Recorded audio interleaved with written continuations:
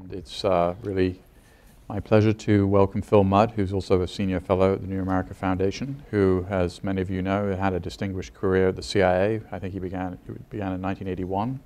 Uh, 80, wait a minute. 85. 85, okay. Not sorry. that old, man. uh, after uh, you were at the University of Virginia with a degree in English. Uh, and, uh, really effective preparation. and uh, Phil had uh, a, a, large range of different jobs at the agency, many of which are recounted in this excellent book, Takedown, which has just recently been published. Um, to give you a sense of a couple of the most important jobs that Phil had, he was Ambassador Dobbins CIA uh, sort of, I guess, liaison to the CIA when Dobbins went in to basically stand up the uh, U.S. Embassy in Afghanistan um, and to help with the formation of the first Afghan government. Uh, Phil was also the deputy director of the Counterterrorist Center uh, at a time when it was engaged in finding people like Abu Faraj al-Libi, Khalid Sheikh Mohammed, and other leaders of al-Qaeda. Uh, he retired from the agency in 2005 and uh, has done a variety of different things since. Uh, he's worked with Palantir a little bit. Yeah. Uh, he's now a unbelievably an investment banker. Uh, he spent some quite a lot of time in Riyadh working with the Saudi Interior Minister, Interior Ministry, um, and we're really looking forward to his comments today. Thanks. And just to make it clear, I've known Peter for about 147 years, so if you sense some casual back and forth, it's because we're not only colleagues, we're quite good friends. And Peter probably owes me a bottle of wine for this. Okay, so, you know, I, when I was reflecting on this and writing the book, which I wrote mostly actually in Riyadh, it seemed to me that most of this was at best an accident and maybe at worst a mistake. Because I, I joined the CIA because I couldn't get a job in 1985. I wanted to be a high school teacher, and I had more than 35 rejection letters from high schools up and down the East Coast. I wanted to inspire kids to learn to read. And so I had heard that CIA was hiring, so I drove up to the front gate on the George Washington Parkway with a resume. And the security officer looks at me and says, Excuse me, this is the Central Intelligence Agency. Well, about three months later, I got a call and they offered me a job and I stayed. I thought I'd stay two years. I stayed 25, some of which was at the Bureau. But the first part was the accident. If you think about the variety of things I saw that prepared me, it, everything from uh, serving initially on counterterrorism in about 1991 because I told my office I was going to move to Paris. And they said, if you're moving to Paris, why don't you go fill a slot that we have to fill on the program to support the Mujahideen who were fighting the Soviets? So 20 years before 911, I had my first interaction with the Muj. And then I came back from Paris with shoulder length hair and two earrings, believe it or not. And the office looks at me and says, We're going to put you in the Outback, which is called the Counterterrorist Center. and so by accident, again, I started on a career path that I never knew would persist for so long. But to move forward quickly, I also had experiences in those years before 911 first as a staff assistant on the seventh floor, that is the executive suite of CIA, which I hate. I was the worst staff officer ever. Not a detail oriented person, which is not a good thing if you're a staff officer. But I got to know not only the workings of the agency, but I got to know a guy named George Tenet. Then I moved back uh, just because I had great mentorship. I jumped a couple rungs of management and Im immediately became manager of the Iraq program at CIA, which gave me experience not in staff work, but in personalities and managing people. After that, again, these accidents that allow you to have a range of experience for problem solving. I went down to the White House and not only saw how policy worked, but got to meet people like Cheney's staff and the National Security Council staff and Condi Rice think of all these experiences and how they play into Washington, D.C. in a post 911 environment. One thing I tell new officers coming in is never think this town is too big because it's not. And secondarily, if you want to make an enemy, be careful because there may be 330 million people in this country, but that enemy you make in this small town of Washington, D.C. is somebody you're going to cross paths with years down the road.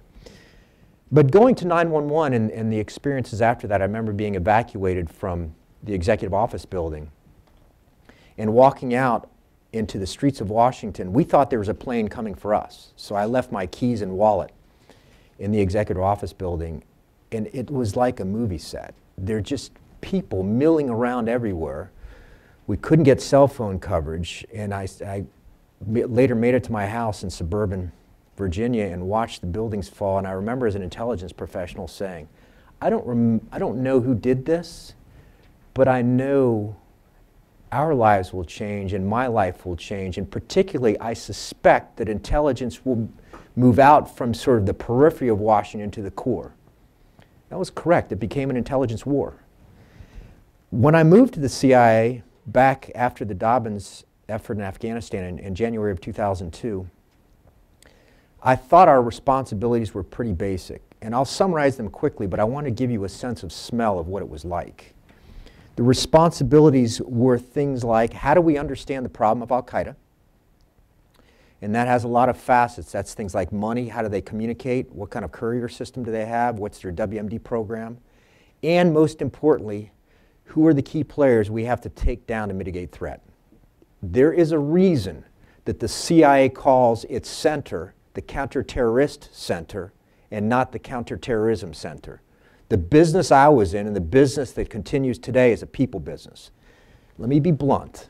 If you take the people out faster than they can replicate themselves, in my experience, you win. It's a brutal business. I thought initially in 2002 when we did our first takedown, the major takedown, that was Abu Zubaydah, we sat down that night and tried to figure out what to tell the president the next morning. Because one of the responsibilities I had in the center with a bunch of other people, some of whom are in this room, was we had to talk to the president six days a week via the director of the Central Intelligence Agency, George Tenet. So you'd be sitting down at night with a breaking event saying, we better say something interesting, primarily because the president's a pretty serious customer, secondarily because George Tenet has a Mediterranean temper, and if we don't say something interesting, he will chew my ass. So we sat down that night and tried to figure out what to say about the first big takedown, again, Abu Zubaydah. And I didn't realize that the answer was not about Abu Zubaydah. It was about whether after Zubaydah we could maintain an operational tempo so that the shark's teeth who might come up and replace him couldn't move up fast enough. It was about operational tempo, not about any individual operational leader. We also had other big duties for people who, in, in many cases, including mine, were at least one step in management beyond where they had been before. We're all, to be brutal, quite inexperienced. Putting together an office in the midst of chaos dealing with a workforce, a few of whom, whom were not dealing with the stress very well.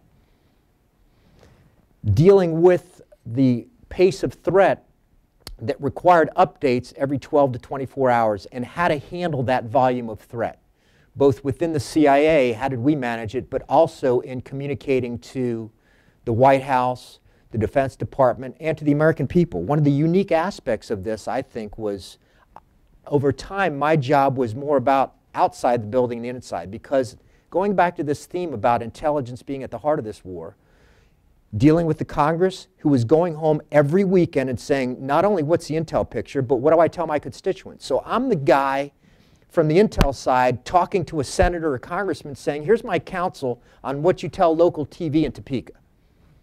That's a bit of a mind stretcher. Dealing with the media, which was a big part of the job. What do you do about a leak? And what do you do about how to shape those who explain to the American people what terrorism is all about? Do you tell them a lot? Do you tell them a little? Do you tell them something in between? Do you get out, do you get out in front of them? Do you stay behind them? Do you react? Do you predict? Dealing with other agencies, in particular the Defense Department. One of the proudest things I remember from CIA was building a relationship with the J2 uh, Uh, that, that's the head of intel for the Defense Department, where we're, when we're doing a Predator strike, I'd call him live and say, You're going to go in the tank, that is the briefing center, with the chairman, and you can't give him bad information. So I don't care whether it's disseminated or not, we're going to have a partnership that says, When I see something, you're going to know about it. Because I don't want you embarrassed in front of the chairman of the Joint Chiefs of Staff. And that built an incredible relationship over time with, at that time, Ron Burgess, and I, I would say we're still friends the last thing I'd say before I transition to how to understand the problem we face today and what to do about it tomorrow is I thought over time that one of the key responsibilities we had was to keep cool. Whether it was our managers or analysts, or whether it was frankly our seventh floor, which got overexcited at times, you know, all of us, whether you're in the corporate environment or in the government environment, the nonprofit environment, I think over time we don't get paid for time. We get paid for judgment, wisdom, knowledge, and we get paid to keep cool when it gets hot. And so I thought one of the responsibilities we had was to keep cool. You can't make decisions if you allow the heat in the kitchen to make you sweat. And an aspect of that was I think all of us knew all along that with the things we we're involved in, particularly detainee and drone operations, we all knew they would get public and we all knew it would go ugly. And the answer was this is what we do. Let's get over it do it as best we can, representing not only the law of the land, but representing the ethos of the American people, and to try to do the best we can with a bad hand. So to transition to what this means, I, I, I, went after that to spend about four years at the Bureau, where I learned more about things like how to think about the difference between domestic and foreign intelligence, how to, about, how to think about intelligence when your first question isn't where's the information, how do we get it? Your first question has to be how is it appropriate to act in the United States? Which is a very different way to think. But over time, I came to conclusions about what threat looks like. And so I want to close by talking about how to understand today's threat and about what I would do about it or how I would think about it as we look down the road in places like Mali, in places like the Horn of Africa or the Arabian Peninsula. I came to view threat through two basic lenses. The first was people. Who are those people who think about the West as a target? And there are very few. Who among those people has access to trainees or, or foreign populations that can translate that intent into capability? That is, who, if they think about attacking the West, can get at you? So the first major category is people. The second is safe haven. Who has the time and space to put together an operation that might look basic to the West, but it is very difficult to execute from Yemen or Saudi Arabia or Algeria. So the combination of people and safe haven. My view is money, WMD, training, all these other characteristics of terrorist organizations to me are subsumed by people and the ability to plot with time and space. If you look at the threats we faced Indonesia, southern Philippines, Somalia, uh, Yemen, um, Sahel, they all have two characteristics. They have space where government can't or won't execute power, and they have key players, whether it's Droukdel, whether it's the Americans who showed up in Somalia, whether it's um, uh, think uh, Zarqawi in Iraq, they all have leadership that thinks in strategic terms about the West as a target. So, if you look at it from that perspective, what do you do about it now and in the future? This is not a policymaker's perspective. This is a practitioner's perspective. I think you have to ask a simple question. If you take this premise of people being important, as time goes on, as the globe and the, and the United States loses the appetite for kinetic operations, that is, as the globe and the United States 12 years after 911, increasingly questions the elimination of leadership, the balance is going to be is the threat sufficient to either use or engage a foreign power to take out leadership, that is, supporting operations in places like the Sahel, or is it sufficient in places like Yemen for us to do the job ourselves? And the balance within that is going to be if we get there too late, they're going to kill people in New York City. If we get there too early, we're going to alienate people faster than we have to. So when do you decide that to represent the American people appropriately, we should try to take leadership off the battlefield. And taking leadership off the battlefield only has two outcomes. You're going to arrest them or you're going to kill them. That's it. As I told Christiane Amanpour, you know, war's hell, get over it. And I'm not a field practitioner, but I sat there and I still remember at nights, it's not a pretty memory. Thinking about signing an order to send somebody to a black site, or thinking about a live operation where you know you're watching live the killing of people who have a soul, and whose kids will never see them again. These implications are profound. And I think people who suggest in the debates about these that those of us, of us who are practitioners don't think about them, that's a mistake. So as I, as I look forward, I think in looking at places like the Sahel and Mali, I would say we have to maintain A, a policy process that tries to decide when a threat reaches the level where we want to engage a foreign power or conduct operations unilaterally. That threat ought to have a couple of dimensions strategic leadership that is thinking about us and not just about their local problem, and that has access to people who can hurt us, and that has safe haven time and space to plot. And finally, over time, maintaining the capability to identify, to find, fix, and finish those folks, which is a revolution in intelligence the last 12 years. That is, to use data tools and analytic processes where you locate someone in a place like Somalia or a place like Pakistan with a tactical capability to go after them if you need to. I think that's where we are today in, in places like support operations in Mali. I think that's where we, we will be tomorrow if we choose to intervene in other places, for example, North Africa. And finally, one of the most interesting implications, I think that targeting mindset, how do you think about leadership that's a threat to the United States? I do not believe that we have thought enough about how that applies to similar targets. Cartels, human traffickers. How do we think about people whose leadership are designed and driven to destroy life in America? And what do we do about it now that we know we have a different intelligence option that we've perfected for 12 years? That's my story, and that's how I see the world, but I suspect you have different perspectives. So please bring it on. We can talk also about English literature if you'd like. My master's specialty was Victorian novels, so I'm sure there's hundreds of people in the room who want to go deep into that. But let's go, whatever you want. So, Phil, uh, what would you say then about the Al Nusra Front, which is clearly the most effective Al Qaeda force in the world right now, the most effective force fighting Assad? Which is basically acting in a Hezbollah-like manner in the sense that not only is it fighting effectively, it's also providing effective services. Yep. So for the first time in the entire history of the, this kind of movement, we're seeing a Sunni ultra-fundamentalist militia controlling territory and delivering services. Yep. What would you do about it? My, if I were, I'll, I'll combine both policy and intel, but if I were a policy guy, my first question, my first perspective would be, and I know this is an ideological issue in this town, would be look, we're not in the business of policing the world. I may not like Hezbollah, but A, they're there. B, they're there deep. To, so to dislodge them would be, I would say, virtually impossible. C, the hardest thing for us to acknowledge with Hezbollah or Hamas is the voice of the people said, we want them. Uh, I'm talking about Al Nusra Front in so, Syria. Exactly. So Al Nusra Front, my first point would be, whether it's Al Nusra, whether it's the Brotherhood, whether it's Hezbollah, we're not going to go clean up every place. So I'm going to go back to my basics, which are far more tactical, to say I want to have enough collection to know whether there's leadership that think, that's thinking about us. Yeah.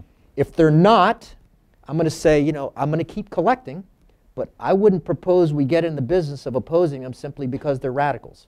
I mean, we have radicals in this country. Radical is a way of thinking. I, and in, in parallel with a collection process to understand how they think, I would also be using this huge targeting capability we have to say, if need be, do I have a good enough collection option where if the leadership of this country says now we have to go after them, that I don't have to spend a year building that up? Okay, well, I, let's drill down on that a bit more. Yeah. You had Al Qaeda in Iraq saying, hey, the Al Nusra Front is actually us, which yeah. is something that the US government has said since December they then al-Nusra said, actually, we're not part of al-Qaeda in Iraq, but we do pledge allegiance to al-Qaeda leadership, yeah. Ayman al-Zawahiri. So does that, what you just described seems to make a lot of sense, except the goalposts have shifted somewhat just even in the last week. I, my view would be cautious on this for simple reasons. The first is once you start picking a fight, you're in for a dime, you're in for a dollar. If you want to mm. pick that enemy up, by starting to take them out, you go from I think they might be adversaries to guaranteeing they will be adversaries. So I, I say that as a sort of practical matter. The other thing I'd be saying is, look, we looked at Iraq uh, early on as a huge problem in terms of bleed out. And that's the term we used back in about 2003. That is, we looked at uh, Iraq through a lens of Afghanistan in the 1990s and said all these foreign fighters are going to go home, and since they've absorbed the Al Qaeda ideology, they're going to go home and kill us. Well, it didn't happen. Partly it didn't happen because they, a lot of them killed themselves, and partly because they pissed off the Iraqis so much that the Iraqis did our work for us. Mm-hmm. So I'm looking at Al Nusra Front, and I'm watching how they interact with the secularists and what percentage they are of the population. And I'm saying, before I pick a fight, my guess is that the secularists, you know, the sort of Free Syrian Army and others, aren't bothering to mess with them because, you know, if they want to go blow up some security guys, fine, but they don't agree with them. My guess is afterwards what's going to happen might be similar to what we saw in Iraq. That is, the Syrians, once Assad's gone, say, look, uh, you guys, thanks, but don't do that anymore. And that they may do our work for us, I think. But, but if I were on the inside, I'd be really taking the pulse of how much we know about intentions. I don't want to be bitten by the dog, but I don't want to bite the dog too early. What were the lessons of Mali? I mean, here you had a case where the French army were greeted as an army of liberation in a place that yeah. they relatively recently controlled. Yes.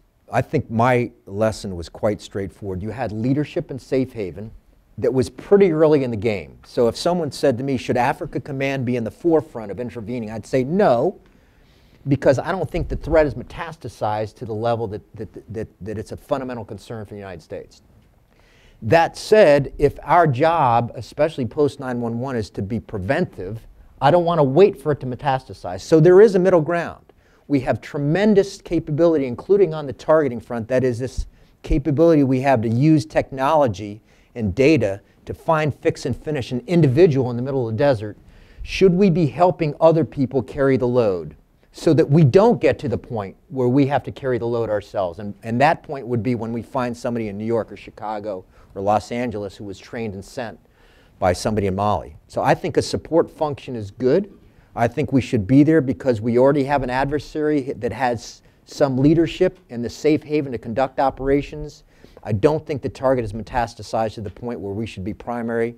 And finally, even if we don't have a target, as a, as a manager, I would keep in place the targeting specialty at the agency over time in reserve. You can't replicate that quickly enough if you let it die on the vine. So even if we didn't have a target now, I'd say, hey guys, 100, 200, 300 folks, you're going to become targeting experts because I don't know how you're going to deploy, deploy you in the future, but I don't want to have to build you from scratch.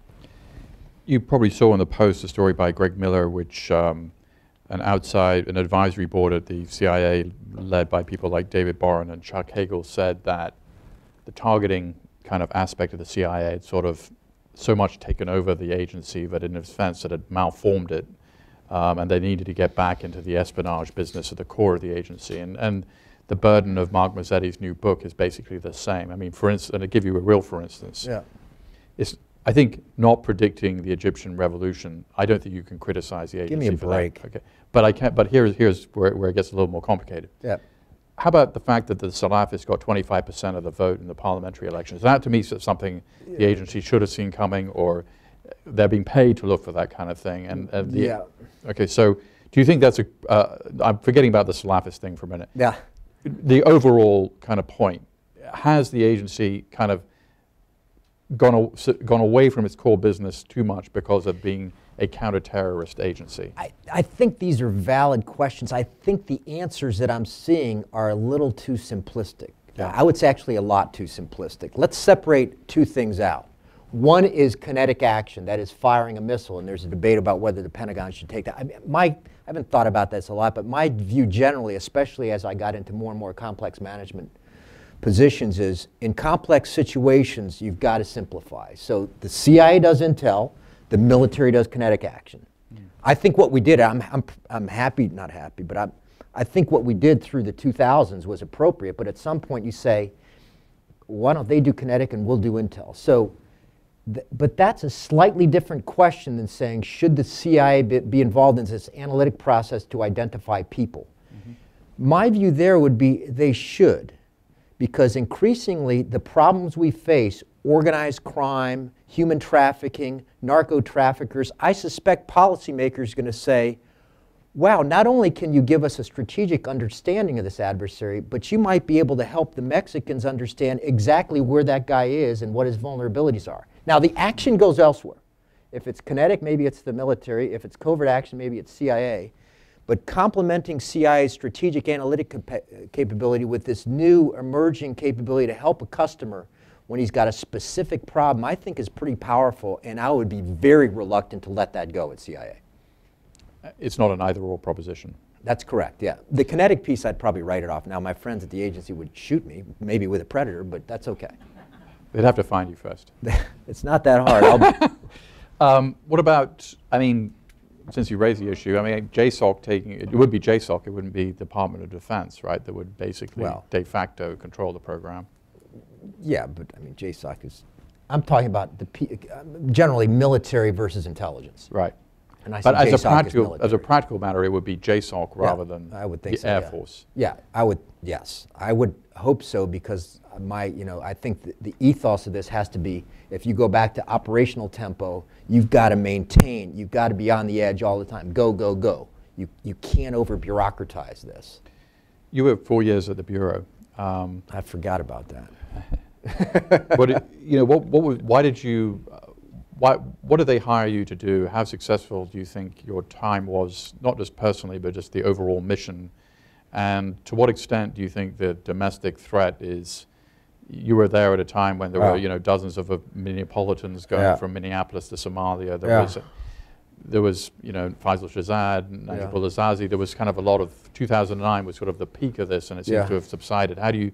Is it was 2009 an aberration, or was it a kind of we, we, it's hard to tell. No, I, I think what we're seeing is the ripple effect that we saw in the UK and Europe in you know 2003, 4, 5. We mm. thought maybe it wouldn't come to America. It did. It's just the ripples were a little further out.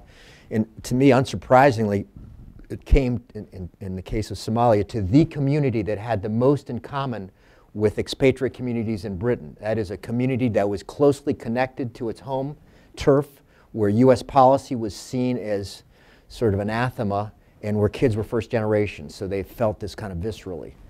Um, so I think that ripple effect, that it took us, it was 08, 09, I felt the crescendo. I obviously think it's dying. The problem is people too quickly, as a career analyst, are over analytic about this. They say, well, because the problem is declining, why don't you withdraw resources? The problem with this country, as someone who's testified 476 million times, is the Congress will tell you that, and then as soon as you miss one guy, you can miss, by the way, 12,000 gang murders in this country. If you miss one guy in the Mall of America, that's a year of testimony, and here's how we're going to eviscerate the FBI because you missed that. So the balance between being coldly analytic about the threat, which I think is relatively low, and the response, which is relatively high, is conditioned not just by what a manager thinks it should be, but by what the people who are elected by the American people ask of you. Don't make a mistake or it's on your ass. Leaving aside the politics of all that for a minute, I mean, is there the one part of the budget debate I don't hear very much discussion of is we've created this sort of national security yeah. industrial complex. I mean, yeah. there are, it's not a, it's not a, you know, one out of ten of the richest counties in the United States was in the D.C. area on 9/11. Now it's seven. Yeah. You know, 860,000 Americans have top secret clearances. Four and a half million have secret clearances. I mean, there's redundancy and there's over redundancy. Um, so how would you, I mean, understanding that politically it's hard to have this discussion because of what you've just outlined, yeah. which is, I mean, shouldn't this discussion be had in wherever else? It, it does seem to be one part of the budget debate where there isn't much discussion. I think that's true. I, I and I, you know, I think over over a glass of wine, my friends and I, at least a few of them, would say the counterterrorism problem is over resourced now. Mm-hmm. I think a question I would have that I've never seen addressed, though, would be do you want to think about other networked adversaries? And by networked, I mean when you look at organizations, whether it's IBM or Al Qaeda, they have characteristics. They have leadership, they communicate, they recruit, they have money, they have a way to, uh, to um, spread their ideology. And that's how I looked at Al Qaeda. I came to view them through about six or seven lenses of how an organization works.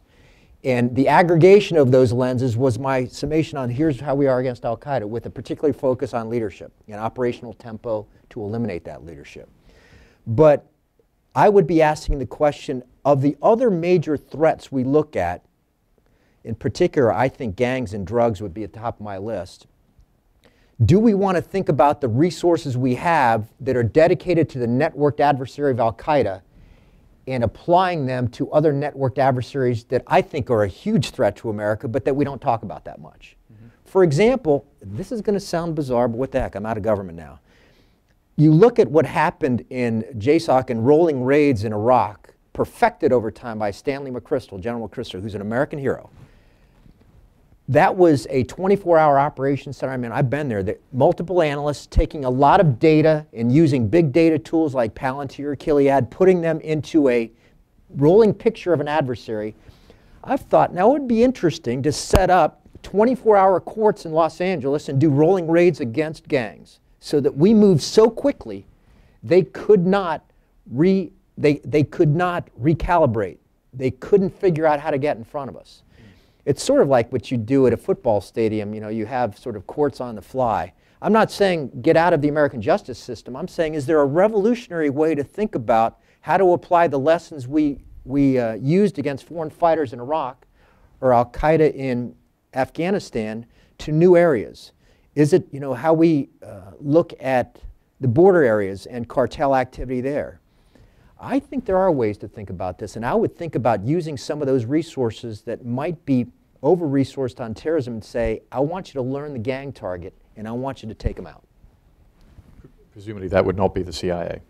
It, it would not and should not be. Um, where were you when bin Laden was killed?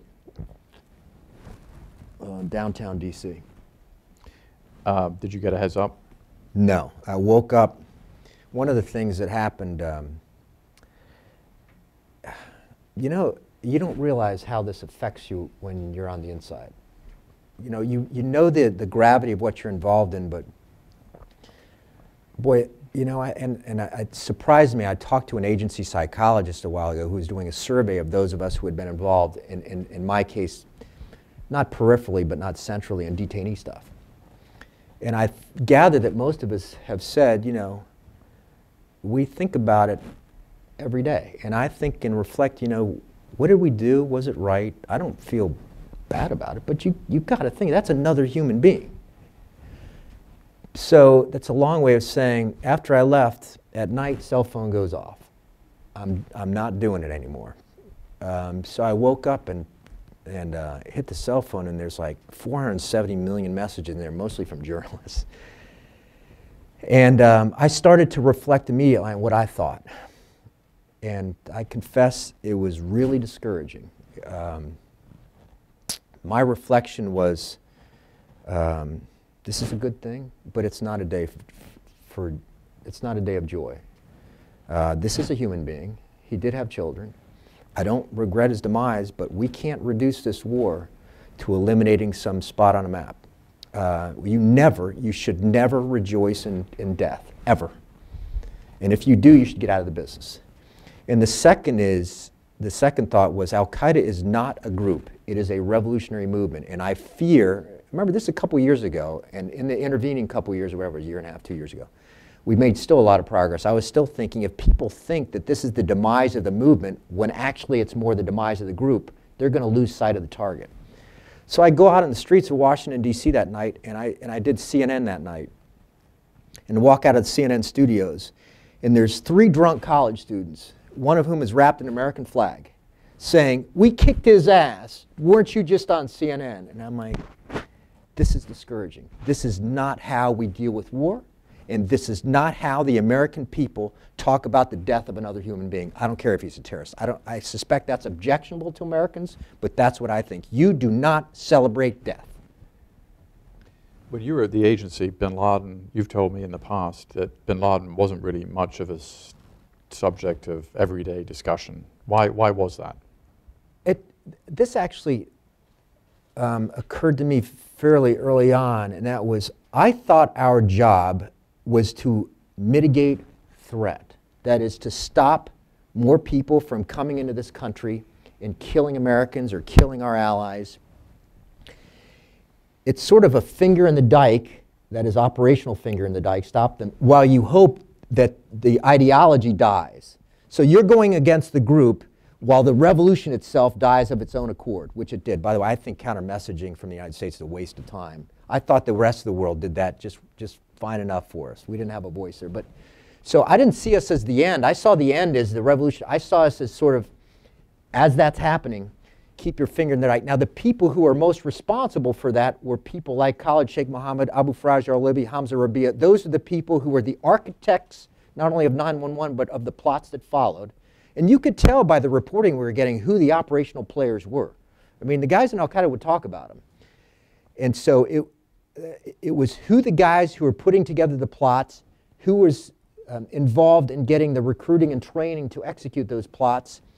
And I never saw that as bin Laden Zawahiri. They were kind of the ideological leadership. Not that they, as you saw from the raid, didn't have a knowledge of or some hand in operations, but they were kind of the revolutionaries, if you will, of the Al Qaeda global revolution.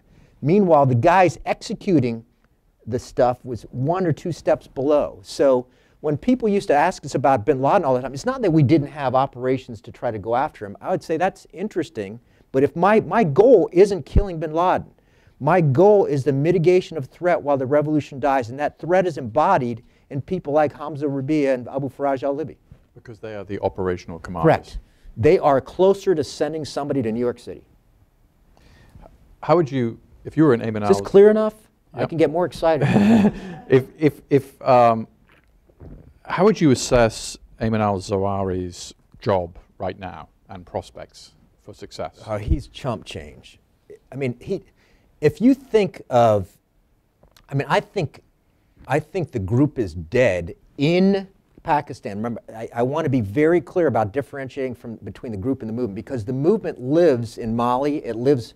That's the success of Al Qaeda. We got there too late. The revolution had already metastasized. And so when people ask me, how are you doing against Al Qaeda, I'll say, you know, we're, we're still have a challenge, not a huge one, but a challenge with the, with the revolution. Moving forward, our, our bigger challenge is going to be when do we intervene and not, so that we don't get in too early and we don't get in too late. And meanwhile, Zawahiri, you know, 12 years ago, we were spending all this firepower trying to keep him off Al Jazeera. He couldn't pay to get on Al, Al Jazeera now.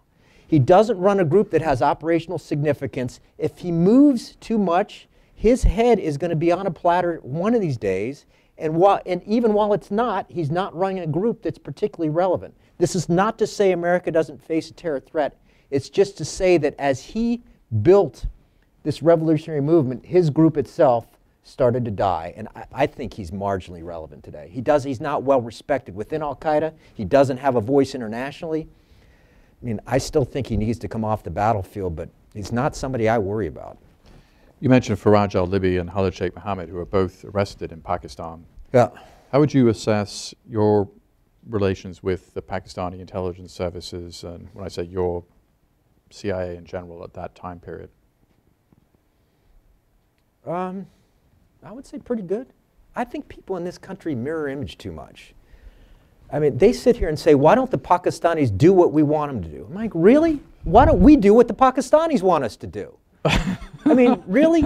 You look at what happened, and we don't think about this. When we went in to talk to President Musharraf, we asked him to take the biggest U turn any foreign policy official has taken around the world in some ways in recent decades. That is, Pakistani strategic policy is predicated on we face the Indians and we have to keep our back door safe. They were a hair's breadth away from having their back door safe because their proxies, let me be blunt, the Taliban was a hair's breadth away from taking over Afghanistan.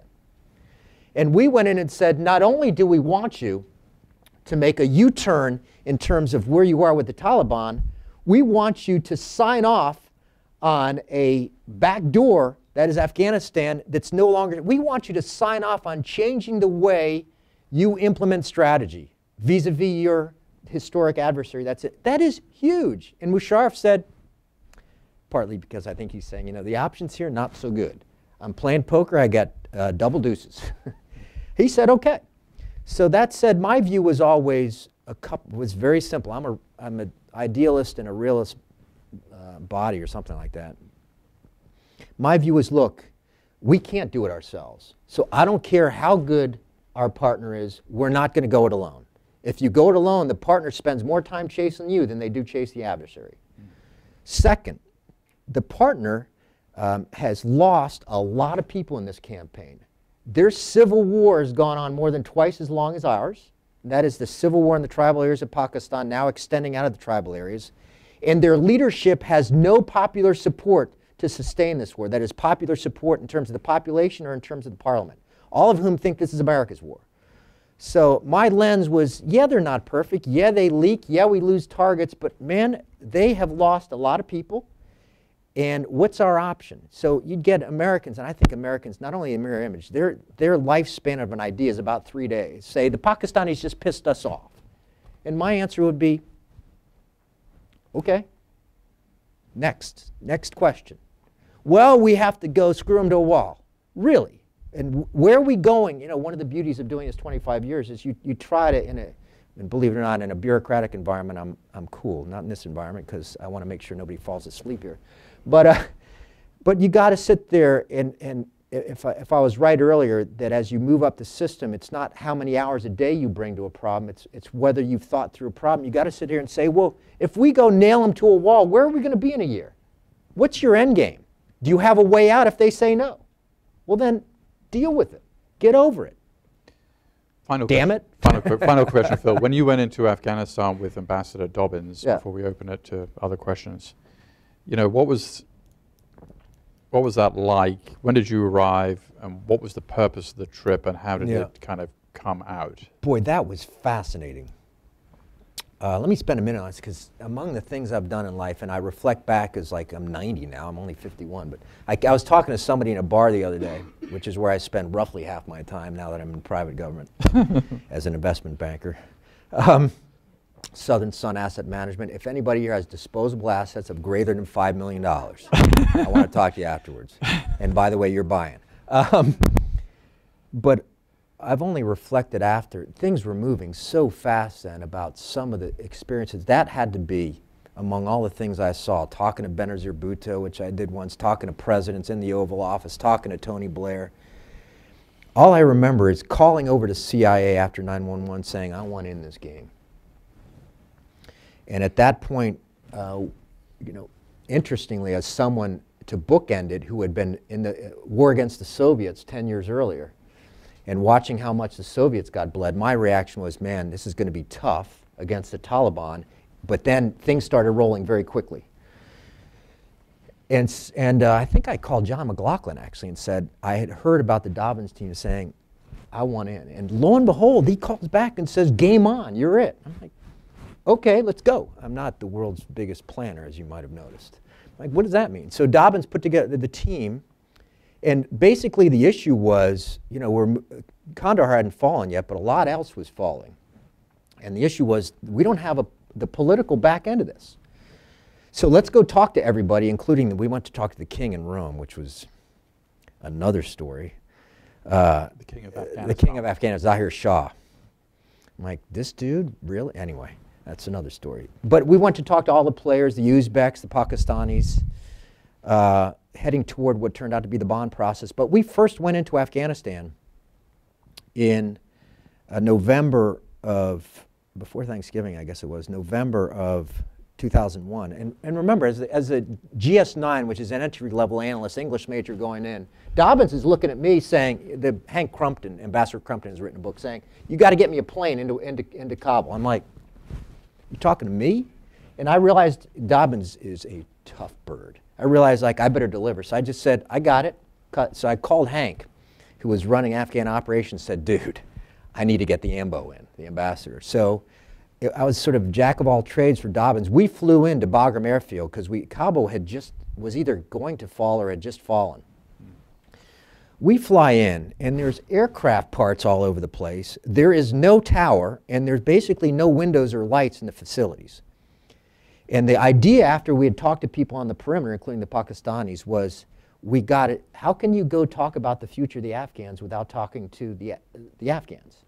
So the first visit was primarily symbolic to say we, we're, even in a fairly dangerous situation, we're going to go talk to you. So we're sitting in a room in Bagram Airfield, which is probably, I don't know, what, 30 miles or whatever, 20 miles north of Kabul.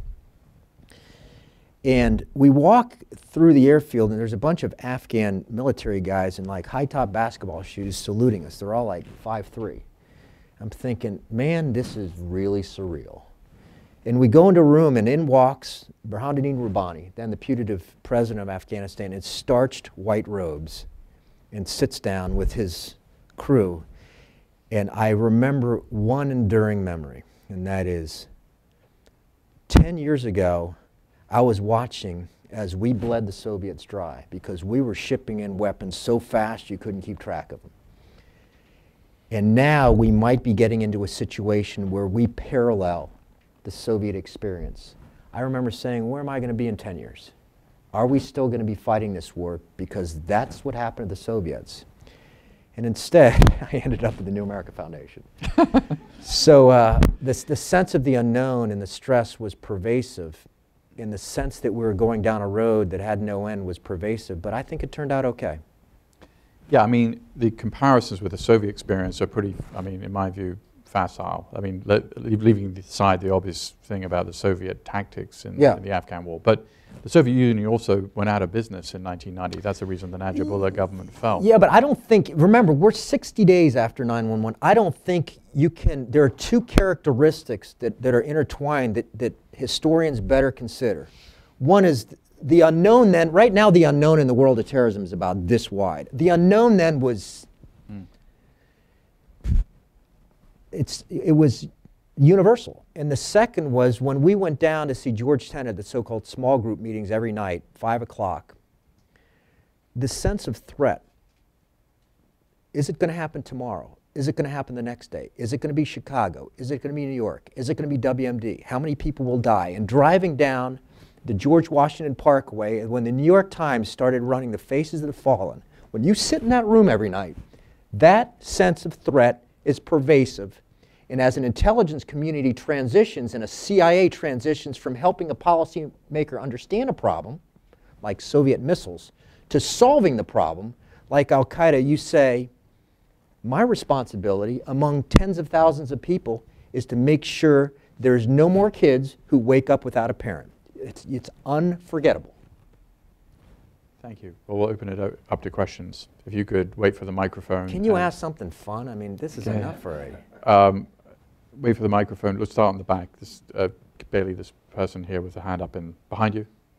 Yep. We can do trout fishing. We can do investment banking.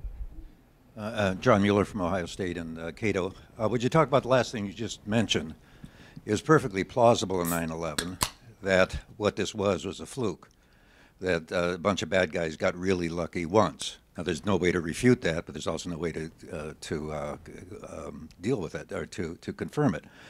Uh, but if everybody in intelligence Yeah, I think was there is assuming, assu- I disagree with you, but go ahead. Okay, everybody in intelligence was assuming that there would be many, many more of these attacks Yeah. immediately, suggests bad intelligence in the sense that an o- obvious hypothesis, which proved to be essentially true, I think, uh, was, um, was simply not even uh, kept on the table, What's the obvious hypothesis? That there wouldn't be another 9 11. I, dis- I couldn't disagree with you more. Look, what happened is, is complicated for the American people to understand. I fully believe that without the American security response, I mean, the American security apparatus is, is an aircraft carrier. I think the analogy holds. It is really hard to turn, but when it puts its guns on you, forget about it. When you watch this from the inside, and I watched 10 years of threat briefings with the CIA director, the director of the FBI, the Attorney General of the United States, the American apparatus uh, for you as taxpayers is pretty impressive. I'm not saying it's efficient, but it's pretty impressive. There are three characteristics to the response, and that was go after them where they are. That's Afghanistan, Pakistan, that's military, foreign partners who were terrific, from the Pakistanis to the Saudis and others, uh, to intelligence operations, obviously, like CIA. Second is if you don't go after them where they are, stop them before they get here. That's the incredibly inefficient operations uh, to, to seal the border. Hardened cockpits, biometric passports, uh, expanded uh, visa application requirements. Third, if you don't stop them where they are, if you can't stop them at the border, get them while they're here. That is the FBI dedicating half its resources and, and uh, expanding its resources so that every time somebody called in Peoria and said, I think my neighbor's a terrorist, you go after him. Here's why I say that. I believe if we hadn't done that, this group, which, which was by 911 entrenched, large, with an apparatus that including recruitment, financing, and a, and a revolutionary ripple effect that was already reaching into places like Indonesia, I have no doubt that many thousands more would have died. I'm not suggesting that any president would have done anything otherwise than what we did. I mean, that was sort of, what do you do? We're going to go get them. All I'm saying is, I thought it was a pretty large and entrenched group. I thought the revolution was succeeding, and I thought as late as about 03, 04, I remember sitting at the threat table in 03, that nightly threat table, thinking after Kenya, Saudi Arabia, after Hambali, Indonesia, I thought we were losing. Not because Al Qaeda was winning, but because Al Qaedaism was winning. So I, I don't think our hypothesis was wrong at all. I think the response was so powerful that we decimated the adversary in some ways faster than I thought we would. And meanwhile, the other great advantage, probably the bigger advantage than the operational success we had, was Al Qaeda was so stupid ideologically that they killed too many innocents and destroyed the revolution. Exactly what Zarqawi did when he told Zawahiri, Thanks for your advice, I'm going after the locals. And the locals turned around and said, Go kill the Americans, but not so much when you kill Iraqis. And they turned on the foreign fighters, I think. Anyway, boy, I got to chill out here. Anybody got like a vodka tonic or something? Is that inappropriate? Hi. Ian Wilkie, Archer Analytics. Thanks very much for your what is service. That, Archer Analytics? Archer Analytics. Okay. Yeah, it's limited. Uh, small consultancy. Anyway, um, getting back to the people, and, and you've been mentioning the importance of people, and I think uh, everyone in this room would agree that there was some element of Pakistani support that allowed Osama bin Laden to live near the Pakistani military Actually, academy. No, Really? let, let me start with myself, say, uh, since I've spent quite a lot of time looking into this question. There's no evidence for that at all. It's hard to prove negatives. We've recovered thousands negatives. of, let me finish because you've raised the issue. We've recovered thousands of documents from bin Laden's compound. None of those documents, which have been translated, show any form of Pakistani complicity for bin Laden living in that compound. And that makes sense. Bin Laden is a, was a very paranoid, secretive, and disciplined guy. Why would he let anybody know who didn't need to know? There were people living on the compound who didn't know that bin Laden was living there, adults. So I think the premise of your question, sorry to interrupt, is off. Begging your pardon, uh, let's just, uh, st staying with Peter's point, I mean, the, the locals knew it as Waziristan House. They knew that there were illicit activities and, and people in that house probably didn't know that bin Laden himself was there, but knew that elements of the Taliban or Al Qaeda were there.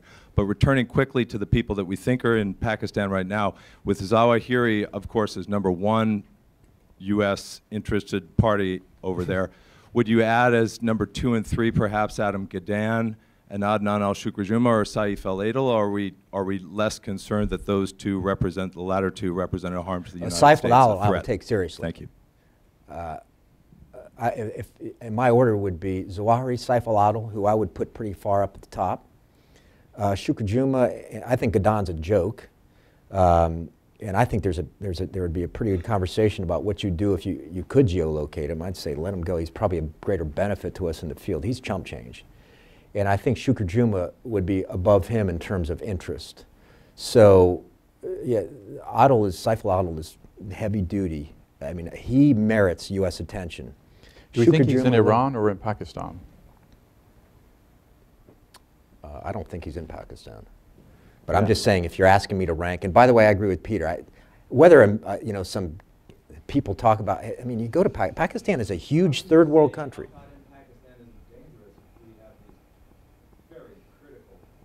No, what I said is, dude, what I said is, compared to what we faced 12 years ago, this organization, A, operationally bears no resemblance to what we faced.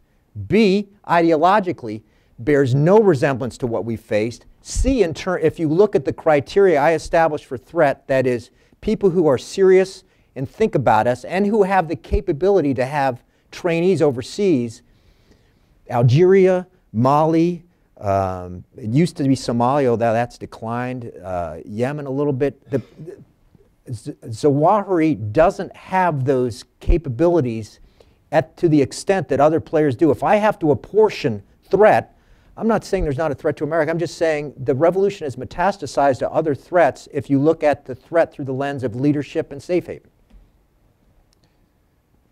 Um, these gentlemen here. Yes, sir. Uh, my name is Kami Bhatt. I'm with the Pakistani Spectator. And I'll I really, take my paycheck later, by the way. uh, I really appreciate that you are one of the very uh, rare uh, scholars in Washington who has some. Scholar! Oh my God. I mean, you wrote a book. I can't write a paper, so you are a. Have you read the book? It's basically illiterate, but go ahead. I mean, I rarely see any person in Washington who would show little empathy for poor Pakistanis who have lost almost 50,000 civilian and 7,000 security people. But people consider that is just statistics. No one care about those Yeah. poor people, and I really appreciate that. My question is that you know that it's very difficult to take care of this problem of Afghanistan and Afghanistan, Pakistan and Afghanistan, because terrorism kind of originate from there, that Yeah. part of the world. Yeah. And the real problem is, I think, the re- bad relationship between India and Pakistan. U.S. has so much clout with India uh, because of this atomic uh, uh, deal between U.S. and India, and trade relationship. U.S. is still the largest, one of the largest uh, trade partner of India and Pakistan. So why doesn't American administration use its influence on India to make some kind of peace with Pakistan? So See, see, I can give you the example of Grover Norquist. If you ask him, he said, "We are being foolish. We are spent. We spent four trillion dollars, and we lost more security people after September 11 than we lost 3,000 on September 11." So, according to his logic, it's not very smart choice that we are wasting money on these wars. So, I think the best option is we should get to the origin of this problem that is between India and Pakistan and try to make some kind of peace. So, Pakistan could reduce its budget and then India could live peacefully with Pakistan, that is considered a troublemaker country. So again, my question is: Is there any way we could use our influence to have a peace between India and Pakistan? Thanks. Do you, are you taking that one, or is that? I, I mean, I, it sounds desirable, right? but I think it's hard to do in practice. Yeah, I, okay, let me cut to the chase here. When I was looking at South Asia, as long as 25 years ago, w- there was a constant conversation about military balance. And you would, you would look at India and Pakistan because of the history of animosity and the Siachen Glacier and the line of Control, et cetera, and look at the military balance between the two. Now, in the intervening 25 years, India, partly because of the economic revolution in India and slowly getting rid of sort of the license raj in India, has become a major global player. Best example of that is the BRICS. They're one of the BRICS. So you have India going this way. Pakistan is looked at as a place where there's, frankly, endemic corruption. You look now at questions in Britain where, where politicians are saying, why are we giving so much aid to a country that doesn't require its richest people to pay taxes? You look at a country where economic and educational performance is abysmal. And what has happened in my personal experience is no one ever talks about balance anymore. And so as I look at South Asia, I look at India as a strategic partner, not because of their military capability or their rivalry with Pakistan or their nuclear capability, but because they are an economic powerhouse that I suspect will only grow with a workforce that's extremely well educated. And I look at Pakistan and say, Pakistan has gone, if anything, in the reverse direction. How can we, uh, instead of looking at them as an economic partner because of necessity, how can we help to, to create policy that will prevent them from slipping further? So you're putting India and Pakistan in a basket, and I'm saying, if anything, over the course of decades, to me, they're, they've, they were in a basket 25 years ago. They are no longer in a basket today. In the front here, Akbar.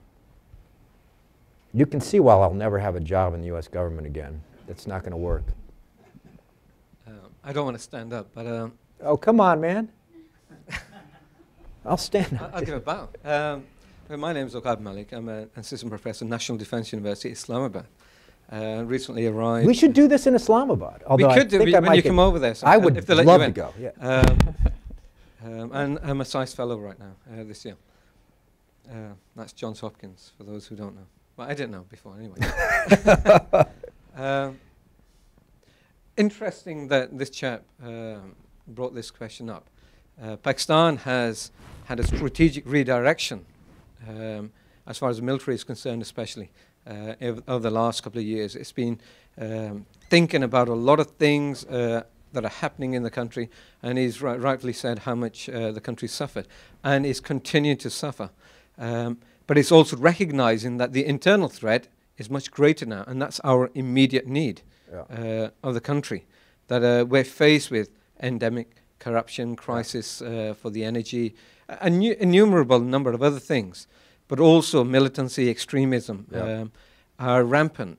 And that is partially as a result of, uh, as a population sees it, uh, invasion of Afghanistan by a foreign power. Yep. Again, um, it seems to be happening very often lately in the last few hundred years, but um, and may well happen again. Uh, Who knows? Uh, Could be the Russians. I don't know about the Russians, but Chinese may take it up.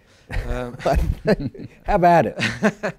but I find also that um, I, I want to take you across, not to India, Pakistan, because that is a that is a very complicated issue, and that can't be discussed in this forum that easily. Um, Yeah. Although I do appreciate you highlighting uh, Pakistan's uh, efforts in this respect and how transient people's uh, perceptions are Yeah, in, in yeah, one way or another. yeah. Uh, but I want to look into the future, which is very, uh, very much in discussion now. Uh, we, we name uh, 2014 as, as a, a crossing point, a, a threshold or a milestone that we have to reach, as if it's something that will completely change everything because somebody says it will. you know? we know that that's not going to be the case. We know that it's, it's uh, highly likely that there, there is going to be a drawdown. Maybe the US will stay there in part. Um, but the fact that there's a lot of worry in the area, especially in Pakistan, Yeah. and we're faced with uh, internal internal insurgencies Yeah. that are growing. Um, there's a, um, a population increase that may go up to 250 million within the next 15 years. Um, we can't afford those resources right now, never mind then. Um, and I was talking to Stephen Cohen uh, last week, and he said, I keep on telling everybody, Pakistan is what you need to look at. That's more important to recognize how this country affects the rest of the world, and we need to help. Yeah. But nobody takes notice of that. Um, Where's the question? the question is maybe it's a statement as well, but you know, I, I am a professor and I have no lectures lately. Um, Your students are very nostalgic for you, though. but but I'm, I'm thinking, where do we go from here? Because when you talk about counterterrorism, a people business, I, I agree with that, but we have to look at the strategic issues as well. I, There's a question there. yeah, no, I think there's a couple things to think about. The first is, I, I find this interesting, you know, for years now, we've looked at the, the tribal areas, the, the border between Pakistan and Afghanistan as a place, A, where key Al Qaeda players are, and B, where Al Qaeda moves into, I mean, I think Al Qaeda has a small influence in Afghanistan, but let's say Pakistani Taliban and Al Qaeda move into Afghanistan and cause problems for ISAF forces. I wonder if 2014, given the level of problems still in the tribal areas in Peshawar, et cetera, it- things are going to reverse. That if, if we don't have Afghan security forces that can uh, project power into the provinces, that there's that Pakistan is going to face more of a problem coming in from Afghanistan. Again, whereas in the past we had the problem going from Pakistan, in, it, that, that the geography will reverse. And so, from that sense, it's a fairly tactical perspective. I think America should be engaged because we're going to have to think about whether we want the capability to take some of those folks out over the long term. Longer term, though, I, you're looking at a country that's nuclear capable with educational standards that are abysmal and a history of exporting extremism with groups like Lashkar-e-Taiba around the world. If we have these characteristics, that is, not Al Qaeda, but Pakistani groups that are infected by Al Qaeda, I'm thinking particularly of people like Lashkar-e-Taiba, and we see their leaders talking about foreign targets, and the Pakistanis don't have the capability to pursue them, I'm going to go back to my basic judgments as a manager and say those two characteristics are a recipe for a problem. How do we deal with that? Is that a response that says let's work with the Pakistani security services and try to take some leadership leaders off the battlefield, or is it a more strategic response? How do we improve education in Pakistan? How do we improve things like health care? My guess in this country is people, this is a very insulated country, is people are going to say quite simply, we don't want to pay for that. We'll pay for the tax. They will not pay for a strategic solution of the kind you're talking about. And especially in the age, not only in a country that, that gives a relatively small percentage of its money to foreign aid, but an age where we're cutting back budgets, I don't think people in this, this town either will or will have the capability to think about problems in a strategic way. To think about if we don't invest, where are we going to be in 20 years? Gentleman here, and then the gentleman behind him. Hi, my name's Dave Price, and I'm a retired English teacher, so I want to apologize for taking. Probably your your high school. Uh, no, it wasn't your. No, it wasn't high school. uh, so I want to know how would Charles Dickens write this up? Uh, Long. Yes, that's correct. Now the serious question would be this: uh, I wonder if you could comment a little bit on you know you talking there was there's those moments you say post 9/11, pre 9/11. But of course, it was one of those changing moments. Uh, what impact has technology had on all of this? In particular, a couple of things that you addressed. Does it make the decision to go after someone easier or harder because it's you know there's lives involved in both ways, and then and then that. And uh, what about or what have you found, or when you were working, what have you found about fear engendered by that on the other side? Are they, you know, is that like, do they say, oh my God, they've got drones, or is it just something, the cost of doing business? Oh, that no, uh, that one's easy. They are petrified, hands down. And uh, I, I see the public debate about cost benefit is worth having, but if you think the adverse, they're petrified. And not only are they petrified because they don't really know how this works, thankfully, but um, they're petrified because uh, it's decimated their organization. So personally, they're threatened, and ideologically, it's just they, they can't operate. Your question about expanding options is, is interesting. I think what's going to happen um, is, first of all, the advent of what we call big data, that is this volume of digital exhaust that you all leave every day. You're on email, you're on the phone, you're on the internet, Facebook, gives us an, an ability to draw a picture around you that's very tactical. So if I want to go against a human trafficking organization, I may be able to look at your digital exhaust and contrast to 10, 15 years ago. And I can understand you much more quickly, and therefore I can do things I could not have done 15 years ago. Primary among, um, among those things is telling a policymaker, your question about are things going to get more complicated, we now have the capability to find that human trafficker in Indonesia. What do you want to do about it? As a practitioner, I would say this is a good thing. My job is simple. It's how to help a customer understand a problem well enough to do something about it. Now that might be macro. What does the Soviet missile threat, uh, whatever they are now, the Rush, I'm sorry, the Russian missile threat look like? And increasingly, it might be tactical.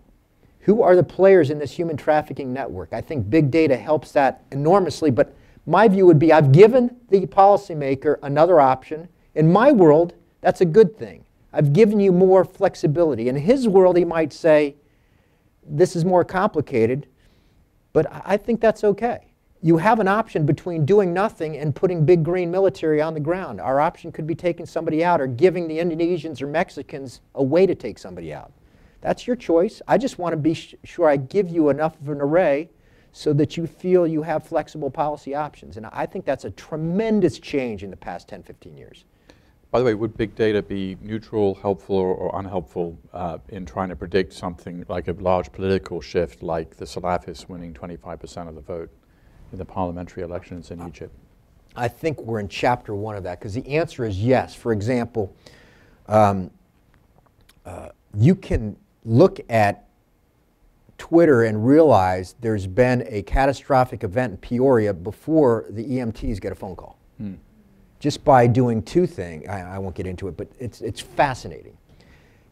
So, and you could look at, uh, I think over time, at there's at a, at an array of data, everything from people moving money out to how people talk about Twitter. That is the extent of talk versus uh, vis-a-vis background noise. So you have a background understanding of how they talk, and now something's changing. The volume is increasing, and the kinds of words they're using increasingly refer to something related to violence. You could, but I think we're at sort of, in terms of human health, it would be sort of 19th century. We're so, we've realized that, that actually blood circulates, which I guess is 18th century. We've realized that, you know, uh, we've realized some fundamentals about how to use these tools to understand human behavior, but man, the conversations I'm in are fascinating. I still sit on advisory boards for this stuff, are fascinating, but it's sort of like Brave New World. And of course, there's the, uh, there's the civil liberties issues that I think Americans don't understand very well. This gentleman here? This is kind of fun. Thank you, by the way. I, I think I haven't seen any sleepers yet, and the questions are pretty good, so thanks. If there are sleepers, just put your head behind somebody else. I don't want to know. Yeah. Um, hi, my name is Oliver Grimmeier. Uh, I'm the U.S. correspondent for an Austrian newspaper called Die Presse. Nothing's quotable here. Of course I'm not. just kidding. but um, just out of curiosity, in, in, in light of the two lenses you uh, apply to figure out if a threat is worth looking into more closely, Yeah. is particularly somebody like Micah Zenko at the CFR writes to criticize the CIA to have gone after uh, many people who are actually not terrorists who would want to attack the US with drones, but who are possibly just insurgents who are trying to fight the Yemeni government or some local Pakistani governors they disagree with. Government. No. And by doing so, by you know taking out people who would well not be nice people in, in the view that we share here Yeah. in this room, but who Yeah. are not really international terrorists, yeah. would have sort of um, supported the brand of this Al Qaedaist um, movement that you've alluded to. That Yeah. is apparently still still vibrant, contrary to the group. Yeah, I, I don't, I don't buy the argument for some pretty basic reasons. The first is, uh, anybody who says these operations don't work, I'd have two questions. First, show me where the movement is today. And I think a lot of that is a result of eliminating leadership. Second is, I always get these questions, which are kind of fun at a bar, but not so fun when you're in the room uh, operationally. These questions about, don't you think you're making more enemies long term? Well, let me tell you something. When someone is in the sights and they're identified as posing a threat that you can uh, quantify, if you will, a threat to Berlin or London and New York, your option isn't do I alienate people or do I not act? Your option is I can either stop the threat or not. And if you choose not to, I want to know what you're going to go tell the families if that plot succeeds. It's not do I alienate people 10 years down the road. And furthermore, again, I'd say those who say you've made more enemies than it's worth, I would say, well, what's the state of the threat today? Uh, so I don't know. I sort of went on a. And so w- w- w- I got half your question. What's the other half? I think you answered it. I did? Yeah. I mean, more simply speaking, the CIA has actually killed people erroneously. Okay. Uh, okay. Let me. That would Okay. sources of your cooperation simply because they were in the same village. Okay, here's what I would say. Here's what I, clearly, you know, it's fu- it's interesting to me that if someone gets killed by a mortar, that somehow people decide that because the kinetic action comes from the air, that it's somehow war becomes clean.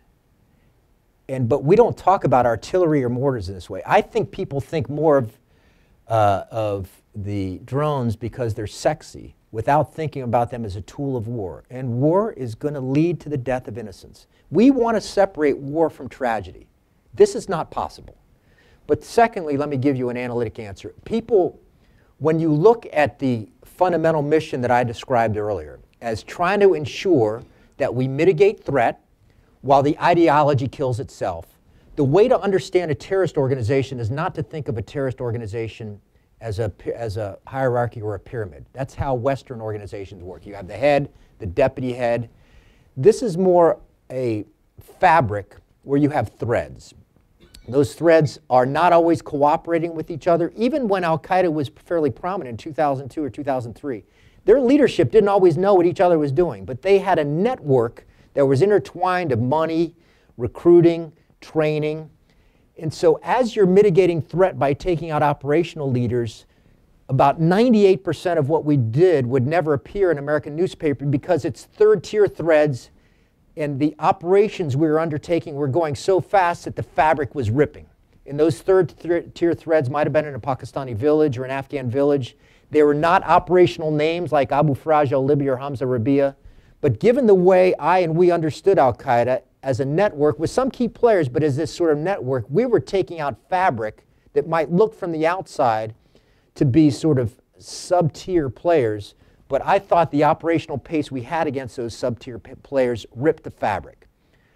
Finance, recruiting, training in ways that are hard to quantify but seem clear to me on the inside. We went from 03, when I'm sitting at the table with George Tenet saying, I think we're losing, to about, I don't know, 06, 07, when you're saying, man, we are gaining traction fast. These guys, by the time bin Laden goes out, Al Qaeda is already a spent force.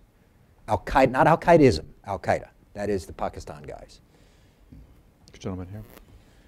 Oh, man, I, my workday is done after this. By the way, you made one mistake. I did not retort, retire, I resigned, I quit. So I got no pension. For those who want to hire, and it's $12,000 an hour, and I'm happy to go wherever you want. Not really.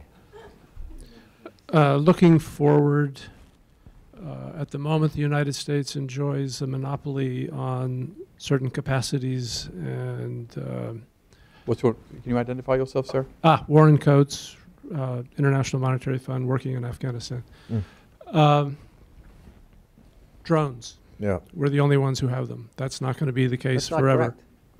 No, we're not. But anyway, go ahead. Well, okay, I mean, my, my question is 10, 20 years from now, Yeah. when these capabilities uh, can be used against us, how should the CIA and our intelligence uh, capacities build to operate in that world? that's a, you know, I, you never lose sight as an intelligence professional that the intelligence service acts at the behest of those elected by the American people. So if those elected by the American people say, we want to shoot the leadership of Mexican cartels, my question is, is this legal? Is it ethical? And have we notified the Congress of the United States? Um, so I guess my question would be, I should, should advise, if I were in the business still, the, the, those who are elected by the American people of what options they have, what capabilities we can develop. If we have the capability to build missiles on tiny drones, and I'll give you an example or two in a moment, that can take out a cartel leader, uh, my question would simply be, I've, the policy side has to tell me what they want couple things to, to nail this one a bit, though. I think, in contrast to the operational capability of drones, that the policy debate is behind because of what you say. As people, as people get these, what is international? What is the international understanding of when it's appropriate to intervene in someone else's country? Clearly, there's no international. I suspect there's a legal issue here that people have thought about, but clearly, on the broader policy level, we don't have an international debate about what happens when uh, the Filipinos want to go into Indonesia and go against people who are sending militants back into the, into the archipelago. What happens there? How do we police that? More interestingly, I think the capability domestically is going to is going to be fascinating. For example, what if you had a series of drones over Washington D.C. and there are universal violence against women code, a 911, and that automatically triggered a mini drone to go to that place? That's not that far off. Do you want that? I saw that guy who had a, uh, remember about two months ago, there's a guy who abducted a kid into a subterranean vault. What if you could put a three inch drone with twin nine millimeters on it down his air tube? Th- that's not that far. That's essentially a drone that, that uses nine millimeters instead of a five kilo or 10 kilo warhead. I would have done it. As soon as he touched that kid, he's going to take two in the head.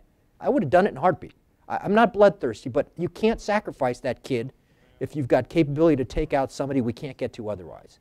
I think the ability to use these things for, for um, policing, public safety, I don't think we have any idea what we're getting into yet. If you're a woman walking across a campus, do you want to be able to say 911 and something comes overhead immediately? My answer would probably be yes, but I'd want to think about it a lot before I said that. Do you have a question? This lady here? Man, there's no bad question. Somebody's got to have a loser. Usually in a crowd like this, somebody says, you know, Do you have a question? No, sorry. you know, why does Uh, there's a lady right here in back, I think. This is kind of interesting. I hope it's okay with you guys. I'm finding this intriguing. I thought it, especially with you in the chair, this would be kind of boring, but Carrie Bachner with Mission Concepts. I'm a little pumped right now. Hey. I- Hey, Carrie. hey, sir, how are you doing? Um, so I, I, I love coming to these things, especially with you as the speaker, because I have much respect for you. You call a spade a spade. In doing so, my question is such that do you think America has lost its will to confront uh, the, Amer- the threats now that America faces since 9 11? So, do you think, in your estimation, we would do what we did then, now? For instance, rendition, Gitmo, no, et cetera. no way. No. And I think most of us who are practitioners would say, there ain't no learning the second kick of the mule. I don't regret what we did. I'm not proud of it because I don't know if you can be proud of participating in a war, but that means that doesn't mean I regret it or I think we did anything wrong. I would just say we tried our best and people look back, I think appropriately. One of the, one of the proudest things I can think of is people have had a chance to debate this because we succeeded. If there had been 17 attacks, nobody would have asked any questions. So I feel I'm an eternal glass half full kind of guy. I'm sitting here saying, what we did gave people the space to say, we don't like what you did. Stop it. And my view is the American people have the capability to elect those who tell us what to do. So I'm happy with what we did, but I think the American people have spoken. They said, we don't like this so much. And my answer is, okay, I'm not angry. I'm like, okay, I got the message. We won't do it again. So if we had an attack on the Sears Tower tomorrow with WMD and somebody said, when are you reopening black sites? I probably would say no um, because in five years I know it's, it's not out of anger or even to protect the agency. I would simply be saying, I know I'm, I'm supposed to represent in some way the American people, and I think I know eventually where the American people are going to go. And they're going to say, we don't like this. We like it this month, but we don't like it in five years. And that's okay. I'm, I don't, uh, I, I think the further you move up, the tougher the problems get, but the simpler the responses have to get.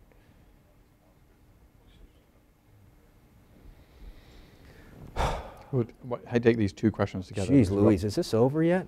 We have five I minutes gotta left. take a nap. Sir, my name is Muhammad. I'm a Hubert Humphrey Fellow from Pakistan. My question is today's New York Times has published a story of a Guantanamo Bay prisoner uh, who is uh, on a hunger strike for the last 60 days. Yeah. Uh, what do you think? What, uh, uh, what are your comments on, uh, on the present policy of USA regarding these prisoners, and what do you suggest Oh, in the man. future? Okay, and then this gentleman here. Uh, Wait, we just we got to take these okay, two so questions together. Gitmo and what do we do? Yeah. Or, okay. and yes, please. Uh, Doug DeGrody, AR Magazine.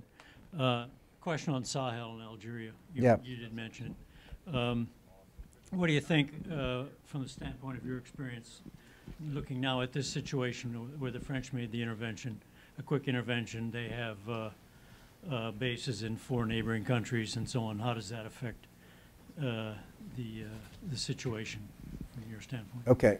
Um, okay, here's the deal. I don't, I don't, you know, I wasn't participating in any conversation about what we did with uh, Gitmo. I mean, I don't, I don't look back because I know how hard these decisions are and say Gitmo was a mistake. mistake. I do say at some point, this, this country has simple, simple values. If you did something wrong, the rule of law wins, and if you didn't, there's tremendous risk, but you're out. We let child molesters out, murderers out, because A, they've either served their time, or B, we can't prove the case. These people pose a greater threat to American society than a terrorist does.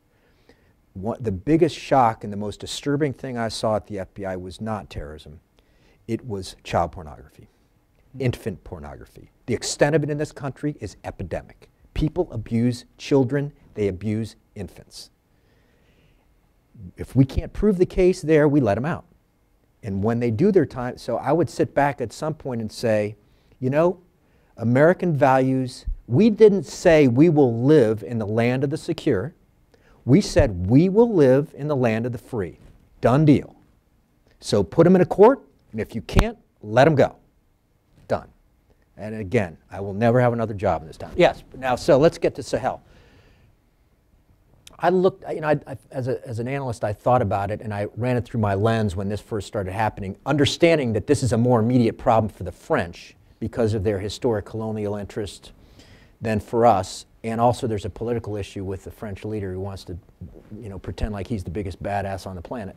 Um, man, there's, there's no French media in here. Um, I, I thought the timing looked about right to me. You have an, an emerging problem.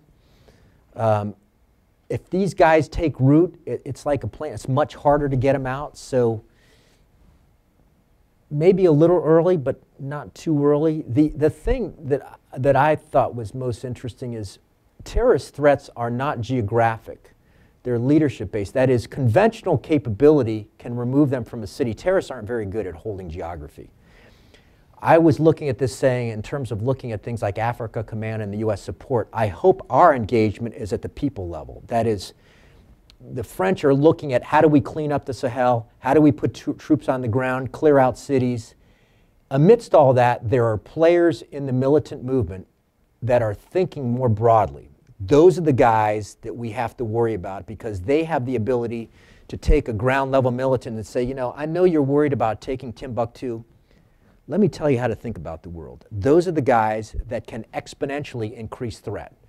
So I was sitting here saying, I hope what we're doing behind the French is not just supporting their ground movements, it's, it's looking at the leadership and the potential that any of those leaders, as we saw with Al Shabaab in Somalia, that any of those leaders start to think strategically about the United States or Western Europe and saying, if we're going to move, those are the guys we're going to focus on. And they're not going to metastasize this plot outside or this threat outside Sahel. So Great. overall, I thought, eh, this is yeah, okay, and I'm glad I'm not in the business anymore. Thank you, Phil. Yeah. And Phil will sign his book for those who are interested after this. Thank you. Thanks for listening. Thank you.